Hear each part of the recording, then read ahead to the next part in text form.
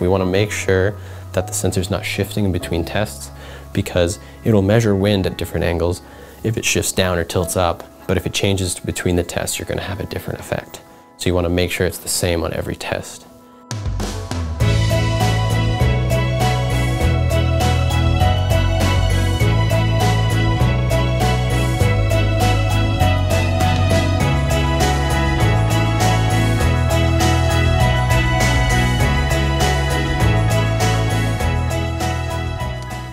My name is Matt, and I'm going to introduce our AeroPro system as you would receive it and how to set up your first test today.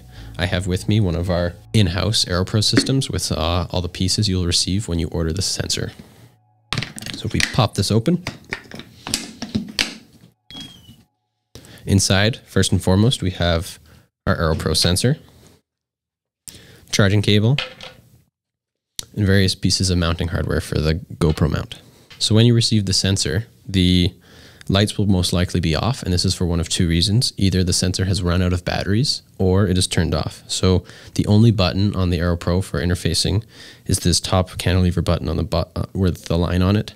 And so if it is off and has charge, you should be able to press that once very lightly, not don't need to force it or anything, and you'll see a red light and it'll go into a boost cycle. So if we give it a moment here, we will see a white light turn on, which means that, oh, there goes the white light, which means that it's now powered. So this white light indi just indicates power in this case. And if when you hit that button, it doesn't turn on, it means it's out of charge. So first, if it was out of charge, we'd want to navigate to the rear of the unit, pop the USB cover, take the USB type C cable that's included and plug it in. Then we want to find a reliable source of power to make sure we have power going to the unit, such as a wall charger. We've used it with laptops in the past and sometimes they throttle the charge and you don't actually have a charging unit even though it appears to be. So we'd go plug that in, and then once it's on power, press the button once and it should turn on. In this case, for charging the unit, we would plug it in, and once we plug it in, this light would turn green. And when this light is green, it'll pulse, and that'll indicate that you have a charging sensor. Um, once that uh, light turns solid green, that indicates a full charge to your users.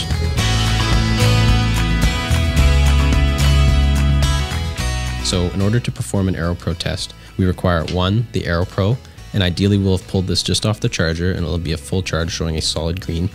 We want a supported power meter. We have a list of these online of which power meters we support and ones that we trust, ideally with either a fresh battery or a brand new battery. A wheel speed sensor, again, a supported one by Aerolab, again, a fresh battery. And we're going to want to load the CIQ app for the AeroPro system onto our Garmin Edge device. We currently support three devices, all the 30 series units from Garmin, and you can download the uh, current release of the CIQ app on our website. Additionally, the CIQ app is a passive device entirely, so you can uh, sync, you want to connect the power meter and wheel speed sensor you'll be using to the CIQ, so the athlete, the rider, has feedback of what the what speed they're going, what power they're putting out, and what the AeroPro is telling them while they're doing the test. But these are purely passive measurements that don't impact the results, so you don't actually have to pair the wheel speed and power here.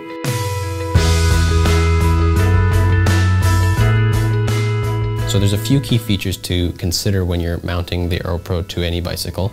And for example, is the location of the sensor. So the Giant Propel here has a non-standard bar and a non-standard stem. So we had to look for some sort of uh, different method of mounting or getting a GoPro mount on this system. And so we used a uh, faceplate mount here that mounts directly to the stem bolts.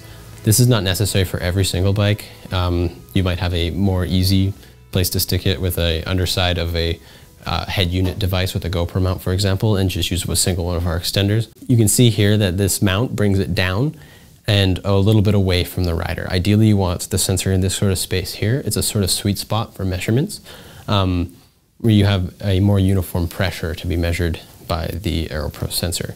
This, this, this mount is centered because this is a road bike and it doesn't have too much asymmetry. With a TT bike, it might not be as easy to put it in the center as you have, might have a little bit more going on.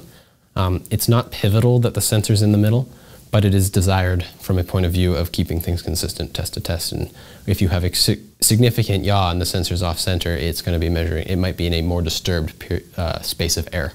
So now we're going to mount the sensor to, uh, to the bike here. So we have the mounting hardware, and this is a, a pretty tight fit, so I should be able to place it in there and it won't fall out. I would be careful, you don't want to drop your AeroPro sensor. So now I will line up line up the holes and, and put the bolt in. Should be able to get it started with my fingers. But if it's tight, you want to grab your three millimeter Allen key to thread it in the rest of the way, being careful not to let the sensor fall. Now that that's in there though, there's no way it's going to fall, but it can tilt. So we need to now set up the tilt. Take our, our nut, put it on the end there. So at this point, now that the sensor can move and all the mounting hardware's on there, I would normally make sure the bike's on level ground, and I would, by eye, just make sure that this, the pitot tube is level to the ground and level to the motion of the rider. So we have our socket here to hold the nut, and we have our Allen key to turn it. So I'll put that on there. Look and level the sensor. That's probably good enough for this. And then we will finger tighten the bolt, nothing excessive. Everything here is made of plastic. You don't need it to be overly tight. So just with the ends of my fingers until it becomes difficult. It's probably enough. We want to make sure that the sensor is not shifting in between tests because it'll measure wind at different angles if it shifts down or tilts up. But if it changes between the tests, you're going to have a different effect. Um, and if you push down that, nothing excessive, it's not going to move. And you can see now that we have it mounted, the pitot tube, the most important part of the measurement, is further away from the rider and down away from their hands, even if they're in some sort of TT position. Uh, it's in a nice undisturbed pocket of air.